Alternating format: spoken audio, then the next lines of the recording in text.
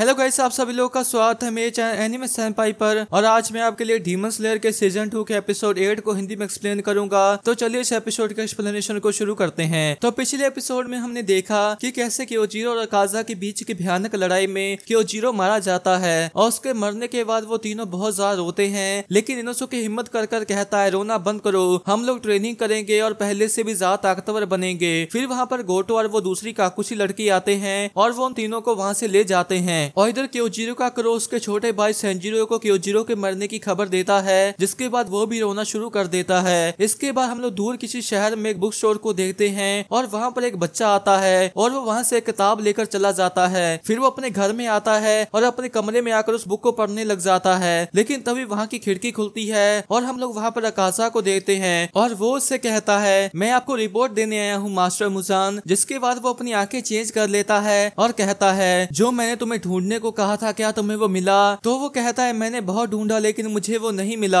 मैं blue spider lily को नहीं ढूंढ पाया। तो मुजान कहता है, और फिर अकाशा कहता है, मैं आपकी उम्मीदों पर खरा उतरने की पूरी कोशिश करूँगा, और इसलिए मैंने आपके लिए खाशिरा को भी मार डाला। तो मुजान उसकी ओर मुड़ता है, और वो कहता है, मुझे लगता है तुम्हें इसके बारे में कोई गलत फहमी हो गई है अकाजा जिसके बाद वो अपनी उंगली उठाता है और उसके ऊपर एक अटैक सा करता है और कहता है, तुमने एक हाशिरा को मार दिया तो इसमें कौन सी बड़ी बात हो गई? एक डीमन एक इंसान को आराम से मार सकता है, लेकिन मैं पूरी की पूरी डीमन स्लेयर कॉप्स का खात्मा चाहता हूँ। और इधर हम देखते हैं कि अकाजा के मुँह से खून निकल आता है। फिर मुजान उस किताब को फाड़ कर कहता है, तुम एक हाशिरा को मारकर खुश हो रहे हो। लेकिन वहाँ पर तीन और डीमन स्लेयर्स भी थे। आखिर तुम उन्हें मारने में नाकामयाब क्यों रहे? और मैंने तुम्हें वहाँ पर इसलिए भेजा था क्योंकि तुम उस जगह के पास थे। और इधर हम देखते हैं कि अकाजा डर के कारण काँप रहा होता है। फिर मुजान कहता है, तुमने मुझे निराश किया काजा और वैसे सोचा जाए तो तुमने कैसे डीमन स्लेयर का वार झेला, जो कि एक हाशिरा भी नहीं था? आखिर तुम इतना नीचे कैसे आ गए, अपर थ्री लेकिन अकाजा चुपचाप बैठा रहता है। तो मुजान कहता है, अब तुम जा सकते हो। जिसके बाद वो खड़ा होता है और वहाँ से चला जाता है। और चलते चलते उसे तांजीरो की बातें याद आती हैं। जब वो उसे कहता है, तुम एक कायर हो, यहाँ आकर लड़ो कायर कहीं के। इसके बाद हम देखते हैं कि वो तांजीरो की स्वॉर्ड को एक पेड़ में घुसा देता है। फिर वो उसके ऊपर लगातार अटैक करने लग जाता है और उसे पूरी तरह से तोड़ देता है फिर वो गुस्से में कहता है, मैंने तुम्हारे चेहरे को अच्छे से याद कर लिया है, बच्चे। और जब अगली बार तुम मुझे दिखोगे, मैं तुम्हारे दिमाग को तुम्हारी खोपड़ी से ही बाहर निकाल दूँगा। इसके बाद हम लोग जेनेसु को तांजीरो के लिए बंस ले जाते हुए देखते हैं, और वो तांजीरो के रूम में आकर उसे दिखाता है, लेकिन तभी क्यू उससे टकरा जाती है और कहती है, अरे नहीं, मास्टर तांजीरो गायब हो गए, जिससे जेनेसु नीचे गिर जाता है। और फिर कियो से माफ़ी मांगती है। तो वो उठकर उससे कहता है, कोई बात नहीं, मैं ठीक हूँ। फिर कियो उसके खून को साफ़ करती हुई कहती है, प्लीज़ मुझे माफ़ कर दीजिए, लेकिन मास्टर तांजीरो कहीं पर भी नहीं मिल रहे।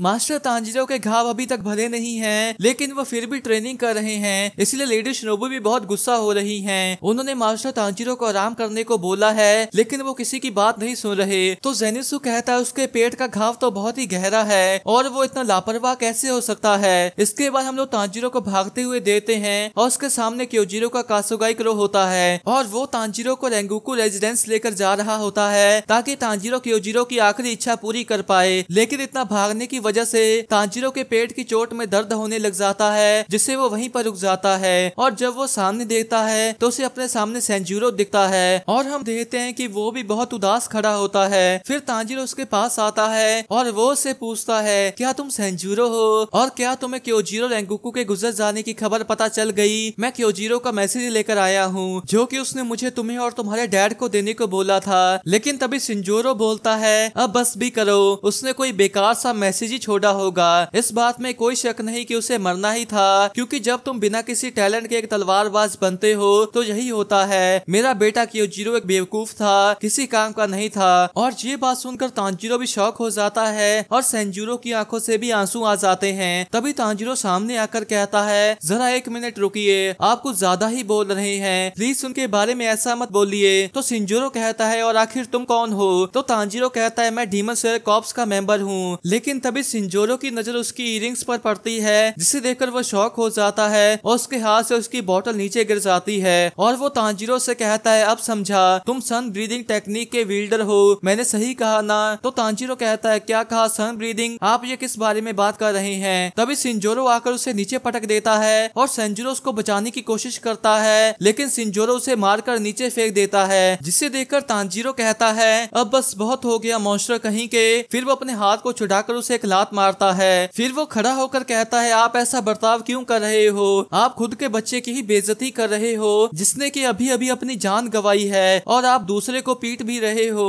इस चीज़ से आपको क्या हासिल हो जाएगा? लेकिन सेंजुरो कहता है, तुम तुम हमारे ऊपर हंस रहे हो, सही कहा ना? तो तांजिरो कहता है, आप ये क्या बोलते जा रहे हैं? और मुझे कोई आइडिया भी नहीं, आप किस बारे में बात कर रहे हैं? तो सिंजोरो कहता है, क्योंकि तुम सन ब्रीदिंग टेक्निक के विल्डर यानी कि उसका इस्तेमाल करने वाले इंसान हो। मैं उन इयरिंग्स के बारे में सब जानता हूँ। ये उस बुक में थी, जिसे सुनकर तांजिरो मन में कहता है क्या ये हिंदोकामी कागुरा के बारे में बात कर रहा है? फिर सिंजोरो कहता है, सबसे पहली ब्रीदिंग सबसे पहली बनाई गई ब्रीदिंग टेक्निक और सभी ब्रीदिंग्स में से सबसे ताकतवर और सभी टेक्निक्स बस सन ब्रीदिंग से ही निकली हैं। बाकी सभी सन ब्रीदिंग की नकल है। फ्लेम वाटर विंड बाकी सभी ब्रीदिंग्स बस सन ब्रीदिंग की सस्ती कॉपीज हैं। तो तांजिरो मन में कहता है ये आखिर किस बारे में बात कर रहे हैं? हम लोग तो पीढ़ियों से कोयले का काम करते आ रहे हैं और इस बात को साबित करने के लिए हमारे पास रिकॉर्ड्स भी हैं। फिर सिंजोरो कहता है, क्योंकि तुम सन ब्रीदिंग के विल्डर हो, इसलिए खुद को कोई तीस मार खा मत समझो बच्चे। तो तांजिरो रोते हुए कहता है, जैसे कि मैं खुद को समझता हूँ कि आप देख नहीं सकते कि मैं खुद की कमजोरियों से ही कितना टूट चुका हूँ? लेकिन फिर क्यों तुम पागल बुढ़े कहीं के मिस्टर रेंकुकू के बारे में बुरा बोलने की हिम्मत भी मत करना? और फिर वो भाग कर उसे एक पंच मारने लगता है। लेकिन तभी सेंजुरो कहता है, ध्यान से मेरे डैड एक पुराने हाशिरा है। तभी सिंजुरो उसकी आम को पकड़ लेता है और उसे एक जोरदार पंच मारता है। फिर तांजिरो मन में कहता है, लेकिन क्यों? अगर हिनोकामी कागुरा ही सन ब्रीदिंग टेक्निक है, फिर उस दिन मैं मिस्टर रेंको क्यों नहीं बचा पाया? और हम देखते हैं की सिंजुरो से पंच मारते जा रहा होता है और तभी तांजिरो एकदम से घूम कर उसके सर पर अपना सर मारता है, जिससे सिंजुरो वहीं पर गिर जाता है। और इसके अगले सीन में हम तांजिरो को उदास बैठा देखते हैं और वो कहता है, अब देखो मैंने ये क्या कर दिया। तभी सेंजुरो उसको चाय देता है और कहता है, प्लीज़ पी लीजिए। तो तांजिरो निराशा भरे चेहरे के साथ कहता है, शुक्रिया। और, सॉरी, मैंने तुम्हारे डैड को एक हेडबट मारा। और, क्या वो अब ठीक है? तो सेंजुरो कहता है, वो ठीक है। जैसे ही वो होश में आए, वो उसी समय शराब लेने चले गए। लेकिन तुम्हारा बहुत बहुत शुक्रिया। तुमने मेरा बोझ हल्का कर दिया। जब भी वो मेरे भाई के बारे में बुरा बोलते थे, तब मैं कभी उन्हें पलट कर जवाब नहीं दे पाता था। और क्या तुम मुझे बता सकते हो कि मेरे भाई के आखिरी पल कैसे थे? फिर तांजिरो उसको सारी बात बताता है और इधर हम लोग सेंजोरो को शराब ले जाते हुए देते हैं। फिर सेंजोरो कहता है अच्छा तो मेरा भाई अपनी आखिरी सांस तक बहादुरी से लड़ा। इसके बाद उसकी आँखों में आँसू आ जाते हैं और वो कहता है, प्लीज़ अब इसके बारे में चिंता मत करो। मुझे पता है मेरे भाई ने भी यही कहा होगा, जिसे सुनकर तांजिरो भी चौंक सा जाता है। इसके बाद सेंजुरो उसे एक बुक देता है और कहता है, जो मेरे डैड ने उस समय कहा था, वो उन्होंने ज़रूर इस बुक से पढ़ा होगा। तो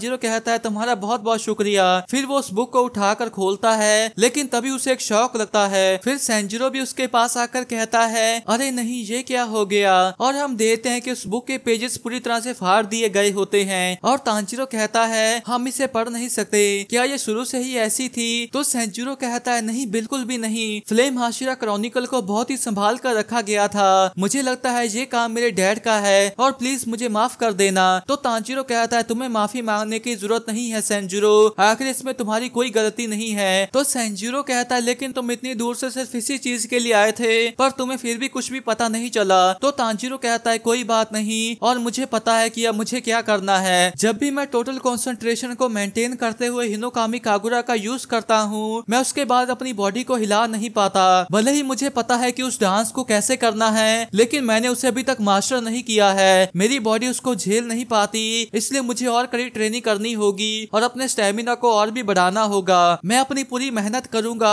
और पहले से भी कई गुना ज़्यादा ताकतवर बनूँगा, ताकि मैं भी एक दिन क्योजीरो की तरह एक ताकतवर हाशिरा बन पाऊँ, जिससे सुनकर सेंजुरो की आँखों से भी आँसू आ जाते हैं और वो मुस्कुरा कर कहता है, मेरे भाई का कोई सुगोको नहीं था। नॉर्मली उसका सुगोको मैं बनता और हाशिरा रिज़र्व के तौर पर ट्रेनिंग करता, लेकिन मेरे निचरिन स्वॉर्ड ने अपना रंग नहीं बदला। निचरिन स्वॉर्ड तब तक रंग नहीं बदलती, जब तक तुम एक निश्चित लेवल के स्किल तक ना पहुँच जाओ। और मैं जितनी भी कोशिश कर लूँ, लेकिन वो फिर भी कम ही रहती है। इसीलिए अब मैंने एक तलवारबाज ना बनने का फैसला किया है और मैं दूसरे तरीकों से लोगों की मदद करूँगा। इससे हमारे पीढ़ियों के इतिहास को भी नुकसान पहुंचेगा और फ्लेम हाशिरा की लाइन भी खत्म हो जाएगी। लेकिन मुझे पता है कि मेरा भाई मुझे इसके लिए माफ़ कर देगा। तभी तांजिरो कहता है, जो रास्ता तुम्हें सही लगे उसी रास्ते पर चलना। और अगर तुम्हें कोई भी बुरा भरा बोलेगा तो मैं उसे खुद एक हेडबट मारूँगा। तो सेंजीरो कहता है, मुझे नहीं लगता कि ये कोई अच्छा आइडिया गया है, जिसे सुनकर तांजिरो भी शौक हो जाता है। इसके बाद हम उन दोनों को बाहर देते हैं और सेंजिरो कहता है, मैं खुद फ्लेम हाशिरा क्रॉनिकल को ठीक करूँगा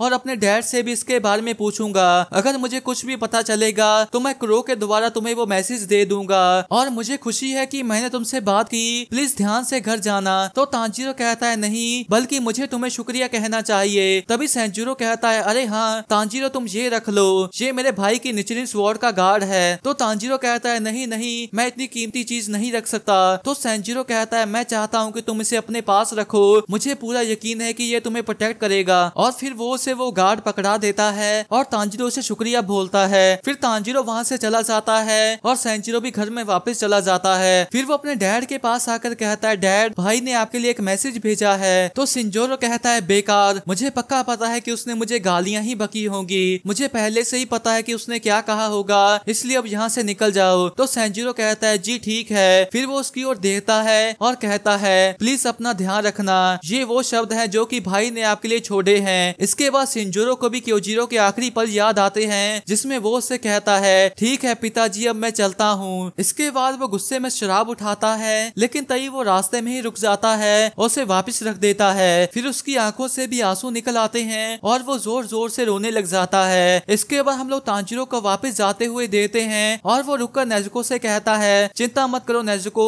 बटरफ्लाई मेंशन बस आने ही वाला है। और जब वो अपने सामने देखता है तो उसे वहाँ पर हागा नेजुका दिखता है, जो कि पूरे गुस्से में खड़ा होता है। और उसे ऐसा देखकर तांजिरो को एक शौक लगता है। फिर हागा नेजुका कहता है, क्या तुम्हारा दिमाग सही है? तुमने अपनी तलवार कैसे खो दी, बेवकूफ़? तुम हज़ार से भी ज़्यादा बार मरना डिजर्व करते हो। जिसके बाद वो उसका पीछा करना शुरू कर देता है, और वो उसका रात तक पीछा करता है। फिर तांजिरो उससे बचने के लिए पेड़ पर चढ़ता है, लेकिन हागा नेस्का भी उसके पीछे ही चला जाता है। फिर वो दूसरे पेड़ से नीचे आता है और हागा नेस्का भी नीचे आकर उसके पीछे भाग जाता है। फिर हम उसे जंगल में भागते देते हैं और हागा नेस्का भी उसके पीछे ही होता है। लेकिन तभी आउई दरवाज़ा खोलती है और कहती है, जल्दी से यहाँ आओ। फिर तांजीरो अंदर आ जाता है और वो दरवाज़ा बंद कर लेती है। जिसके बाद हागा नेस्का सीधा ही निकल जाता है। इसके बाद हम लोग देखते हैं कि उसकी बहुत ही बुरी हालत हो चुकी होती है और जेनिसु कहता है, इसने कहा कि हागा नेस्का ने इसका सुबह होने तक पीछा किया। तो इनोसुके कहता है तो क्या इसलिए तुम खाना नहीं खा रहे? तो तांजिरो कहता है, बिल्कुल सही। अगर आउई उन्हें शांत नहीं करती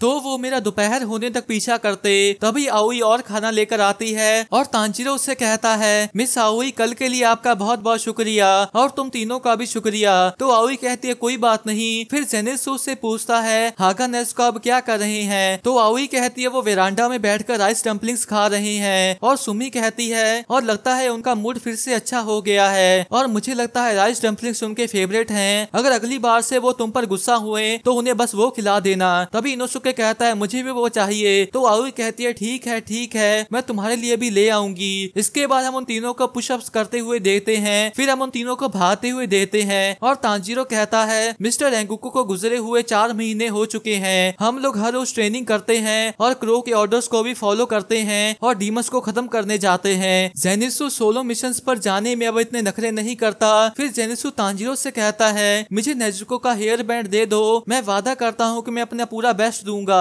फिर तांजीरो कहता है इनोसुके अब पहले से भी ज़्यादा अग्रेसिव हो गया है। और वो कहता है, हम लोग तब तक भागेंगे, जब तक हमारी हड्डियाँ दर्द करना शुरू नहीं कर देती। फिर हम उन तीनों को भागते हुए देते हैं। और तांजीरो कहता है, अकेले ना रहना भी कभी कभी अच्छा होता है। इसके बाद एक करो तांजीरो को एक मिशन का ऑर्डर देता है। फिर तांजीरो नेस्को दोनों वहाँ पर जाते हैं और वो दोनों साथ में उससे लड़ाई करते हैं, जिसके बाद वो डीमन भाग कर घर में आ जाता है, लेकिन तभी तांजीरो भी वहीं पर आ जाता है। फिर वो डीमन उस पर हमला करने आता है, लेकिन तभी Tanjiro fourth form striking tide से उसकी गर्दन को काट देता है। इसके बाद वो बटरफ्लाई मेंशन वापस चल पड़ता है, लेकिन तभी हम आउई को देखते हैं और वो कहती है, प्लीज़ रुक जाइए। जिसे सुनकर तांजीरो भी चौंक सा जाता है। इधर क्यों रोती हुई कहती है, प्लीज़ रुक जाइए। और तभी हम देखते हैं कि साउंड हाशिया टेनगिन उजुई, आउई और नाहो को पकड़कर ले जा रहा होता है। फिर आउई कनाऊ को मदद के लिए पुकारती है, जिसे सुनकर कनाऊ कंफ्यूज हो जाती है और उसे समझ में नहीं आता कि क्या करना है। फिर वो कॉइन निकाल कर डिसाइड करने लगती है, लेकिन तभी उसे तांजिरो की बात याद आती है, जिसमें वो उससे कहता है, अपने दिल की सुनो। जिसके बाद वो जाकर उन दोनों को पकड़ लेती है और टेंकिन कहता है, इन्हें छोड़ो। क्या तुम भूल गए कि तुम्हें ऑर्डर्स मिले हैं? लेकिन कनाव कुछ भी नहीं बोलती। तो टेंकिन कहता है, बेवकूफ़ लड़की, अब कुछ तो बोलो। जिसके बाद वो दोनों भी कहती है, हमला करो। फिर वो दोनों भी जाकर उसे पकड़ पकड़ लेती है। तभी तांजिरो वहाँ पर आकर कहता है, तुम लड़कियों के साथ ऐसा कैसे कर सकते हो? उन्हें अभी छोड़ो, जिससे वो सभी उसकी ओर देखने लग जाते हैं। तभी तांजिरो शौक हुआ मन में कहता है, नहीं, क्या उन लोगों ने उसे पकड़ा हुआ है, या उनको उसने पकड़ा है? कुछ समझ में ही नहीं आ रहा। फिर क्यों कहती है, ये इन लोगों को किडनैप कर रहा है, प्लीज़ इन्हें बचाइए। तो टेनगिन गुस्से में कहता है, बेवकूफ़ लड़की कहीं की। जिसके बाद तांजिरो भागकर उसे एक हेडबट मारने लगता है, लेकिन तभी टेनगिन वहाँ से गायब हो जाता है और वो सभी नीचे गिर जाते हैं। फिर हम उसे गेट के ऊपर देते हैं और वो कहता है, तुम बेवकूफ़ हो। मैं एक पुराना शिनोबी यानी कि एक निंजा हूँ और क्या तुम्हें लगता है कि मैं तुम्हारे इस बेकार के हेडबट वाले वार में फंस जाऊँगा? और मैं इन दोनों को इसलिए लेकर जा रहा हूँ क्योंकि मुझे एक मिशन के लिए कुछ फीमेल कॉप्स मेंबर्स चाहिए। तभी क्यों कहती है, नाहो, कॉप्स की मेंबर नहीं है और क्या तुम देख नहीं सकते, उसके पास यूनिफॉर्म भी नहीं है। तो टेनगिन उसकी ओर देता है और उसे फेंक कर कहता है तो मुझे ये नहीं चाहिए। और तभी तांजिरो आकर उसको पकड़ लेता है और उसे कहता है, तुम इतना कठोर काम कैसे कर सकते हो? फिर टेनगिन कहता है, अभी के लिए मैं सकीली को ही लेकर जा रहा हूँ। मुझे पता है कि ये किसी काम की नहीं, लेकिन ये कॉप्स की मेंबर तो है, जिसे सुनकर आओई भी घबरा जाती है। फिर तांजिरो कहता है, सभी के खुद के पर्सनल रीजन होते हैं, इसलिए तुम्हें किसी के साथ ज़बरदस्ती नहीं करनी चाहिए। मिस आओई को हमें वापस करो और हम लोग आओई की जगह पर जाएँगे। तो टेनगिन पूछता है, हमसे तुम्हारा क्या मतलब है? तभी हम लोग उसकी एक साइड पर जेनिसु को देते हैं और उसकी दूसरी साइड पर इनोसुके होता है और वो दोनों जंप लेकर तांजिरो के साथ खड़े हो जाते हैं। फिर इनोसुके कहता है, मैं अभी ही वापस आया हूँ, लेकिन मेरे पास अभी भी ताकत बची हुई है, इसलिए मैं खुशी खुशी चलूँगा।